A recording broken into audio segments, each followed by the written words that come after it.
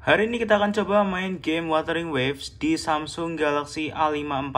Ya, Samsung ini merupakan Samsung mid-range yang sebetulnya nggak terlalu fokus untuk gaming karena spesifikasinya tergolong biasa aja di harganya yang tergolong mahal kalau dibandingkan dengan HP-HP Cina lainnya kayak Xiaomi dan lain sebagainya. Tapi untuk menjawab rasa penasaran kita semua, kita akan coba mainkan game ini, game yang tergolong sangat berat ini di Samsung Galaxy A5 IV. Bagaimana performanya? Kita akan langsung coba aja.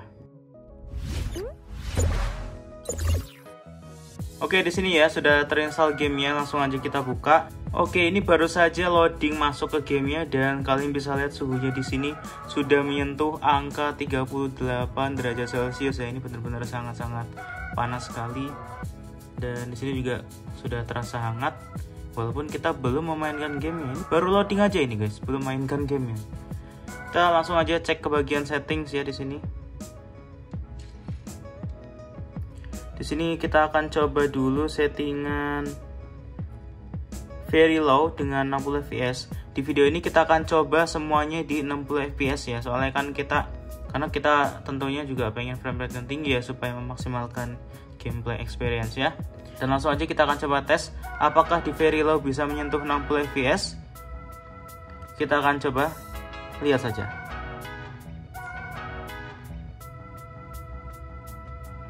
Oke. Di sini benar-benar smooth sih.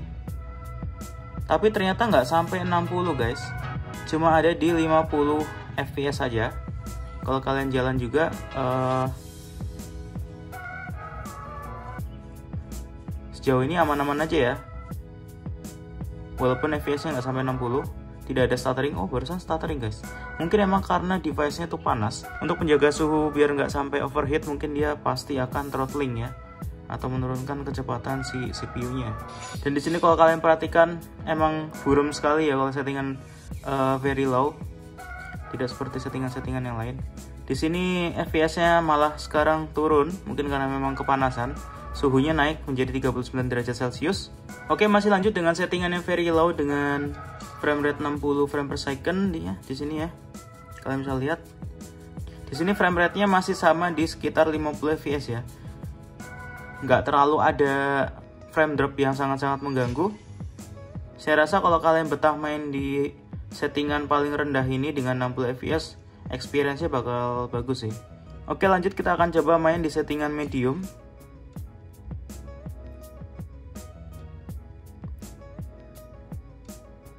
seperti ini ya medium 60 fps kita akan coba apakah Samsung ini bisa handle settingan medium 60 fps langsung aja. Dan ternyata memang turun ya. Rata-ratanya menjadi 40 fps jadi bisa disimpulkan uh, very low kalian bisa dapatkan 50 fps kalau settingan medium kalian bisa dapatkan sekitar 40 fps turun 10 fps dan kalau kalian scroll seperti ini nggak ada frame drop nggak ada stuttering cuma memang frame rate-nya aja nggak terlalu tinggi jadi uh, experience-nya juga masih terjaga ya ketika kalian bermain game ini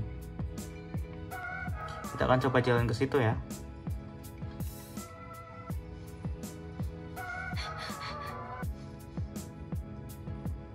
Nah, mendekati kota, kalian bisa lihat frame rate-nya turun ke sekitar 34. Memang di sini berat ya scene-nya. Untuk komparasi yang lebih adil, saya nggak akan terlalu jauh explore. Saya akan tetap di daerah sini saja supaya kita bisa supaya kita bisa lihat perbandingannya nanti untuk yang grafis yang paling tinggi.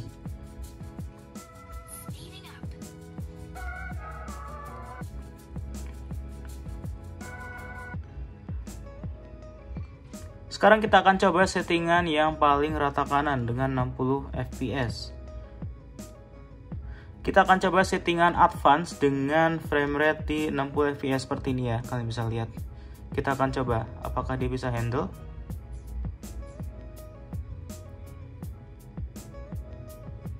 Oke. Okay. Frame rate-nya 36 40 fps sepertinya tidak terlalu jauh ya dari settingan sebelumnya mungkin ini masih recommended sih buat kalian coba Oke, turun sih ini, lebih turun.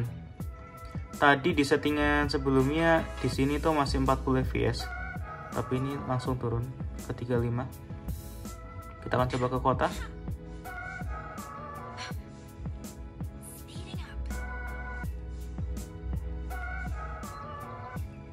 Oke, di sini malah turun ke sekitar 30 fps atau bahkan tadi sempat ke 20 guys. Jadi kurang recommended untuk settingan yang paling rata kanan ini. Device-nya tidak sanggup, entah mungkin karena suhunya yang terlampau tinggi, sudah 43 derajat ya suhunya. Mungkin kalau kalian pakai cooler uh, bisa lebih stabil lagi.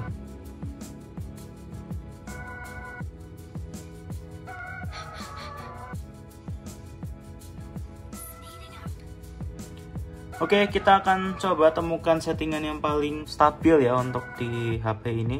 Tapi mungkin sebelum itu suhunya mau kita dinginin dulu. Jadi kita nggak akan lanjut dulu sampai suhunya lumayan dingin guys. Oke guys, jadi setelah saya coba-coba ternyata optimal setting yang menurut saya balance ya antara performa dengan uh, grafis.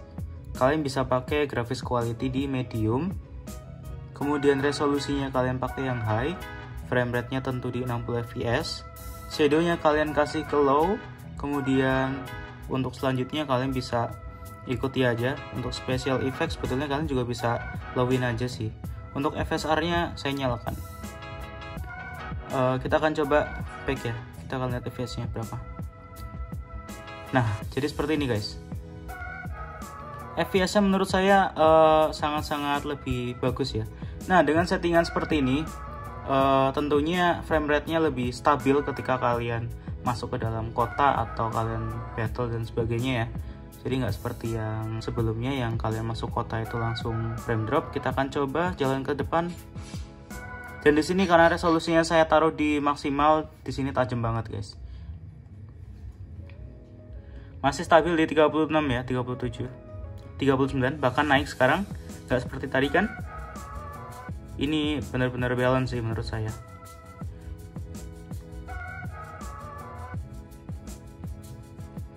Nah, tadinya yang di sini 20 fps sekarang 30-an fps lumayan daripada tadi.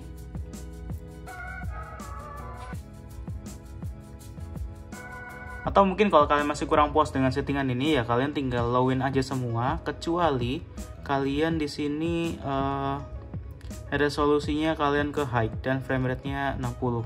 Nah, jadi semua low dan off kecuali uh, resolusinya yang high dan frame rate-nya 60 fps. Ini benar-benar oke okay sih. Jadi kalian masih bisa dapat sekitar 45 fps bahkan di kota ya. Ini lancar banget sih ini. Jadi ini settingan recommended kedua ke saya yang kalau kalian nggak peduli tentang grafis tapi pengen resolusinya tajam. Soalnya resolusi dan settingan-settingan grafis yang lain itu kan beda ya. Kalau kalian misalnya kalau kalian misalnya grafisnya yang high dan resolusinya medium atau low itu kan sama aja jelek juga kan ya. Jadi kalian lebih baik utamakan resolusi aja. Ya jadi opsi kedua itu ya kalian utamakan resolusi aja dan settingan-settingan yang lainnya kalian bisa off kan atau kasih kasih low aja gitu ya. Contohnya seperti ini ya. 47 fps di kota ini benar-benar sangat-sangat uh, mantap sekali experience gamingnya masih terjaga. Oke, jadi itu dulu ya video saya tentang Samsung Galaxy A54 untuk memainkan game Wuthering Waves ini. Semoga kalian suka videonya dan merasa terbantu. Sampai jumpa di video selanjutnya.